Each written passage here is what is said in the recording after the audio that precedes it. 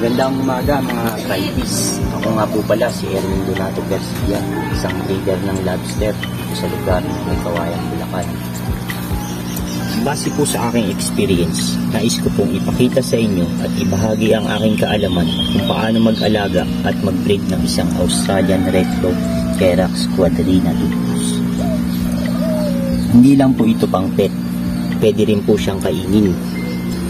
At madali lang din po siyang alagaan kahit anong fish food, stream food, kinakain nila. Maging patay na isda, patay na hipon, durog na suso, superworm, gustong gusto po nila.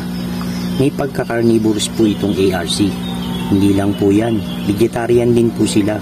Gusto din nila ng carrots, aquatic plant, gaya ng hornwort at guppy grass.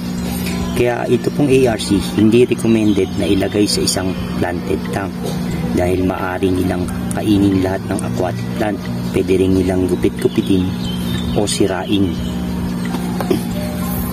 Bago ko po ilagay ito sa aking breeding tank, nais ko po munang ipakita sa inyo kung paano ang pag-gender ng isang Australian Red Throat. Mapapansin niyo po siya na may color pattern po siyang red spots sa kanyang magkabilang claw.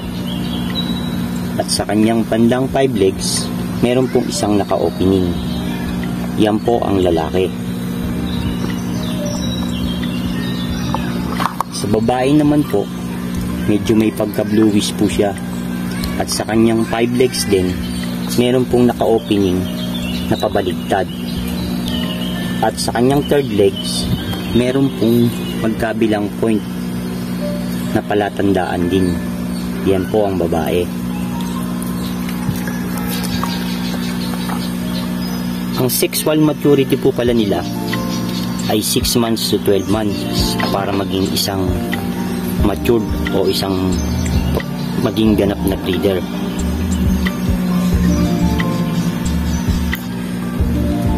Lumalaki po sila ng 12 inches pataas hanggang 35 cm ang haba. At tumitimbang po sila ng 500 grams sa lalaki. 400 grams naman sa babae. Adult size na po yun. Sa pagiging adult naman po nila, ang lifespan po nila ay umaabot ng apat na taon hanggang 6 years. Depende po yan sa kanilang optimal condition. Kaya mga crayfish, kung magkakaroon po kayo ng isang pares nito, hindi po imposibleng maibreed nyo din dahil sa haba ng panahon nila. Ngayon po, ilalagay ko na po ito sa aking breeding tank. 4 days na po itong naka-stack. Kaya fresh water na po siya. At naglagay na din po ako dyan ng PVC drip food na pagtataguan nila.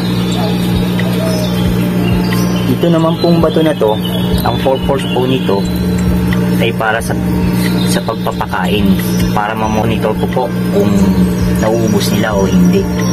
Ang pagpapakain po sa kanila ay dalawang beses sa isang araw. Kung hindi po naubos sa hapon, wag na po tayong magpakain. Ngayon po, ilalagay ko na po itong pair po ng ARC.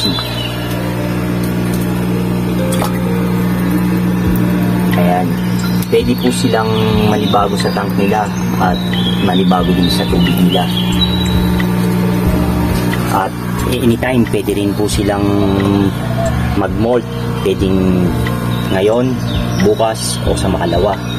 Pagkatapos po ng pagmamolt nila, pwede na rin pong maglandi si babae at liligawan naman ni lalaki at magme-mate na sila. Sa loob po ng 24 hours o 48 hours, pwedeng mabuo po ang itlog nila. Mag-iitlog po ito ng 400 pieces hanggang 1,000 pieces mabuo na lang po yung kalahati or one-fourth ang saya-saya na katulad kong leader. Pero bago po ma-excite, bibilang muna po ng 6 weeks hanggang 8 weeks. Depende po yon sa temperature. Kung malamig po ang panahon, pwedeng 42 days lang mapipisa na sila.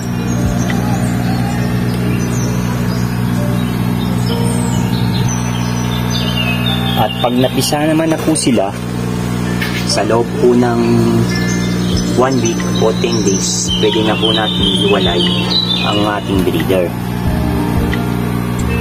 Kaya mga Cryfish, abangan nyo po kung ilan ang naging juvenile nitong aking breeder. Ipapakita ko po sa inyo. Kaya subaybayan nyo lang po ako. Ako po uli si Erwin Donato Garcia, isang breeder ng lobster. Dito lang po sa Erwin Secretong Backyard. Maraming salamat po.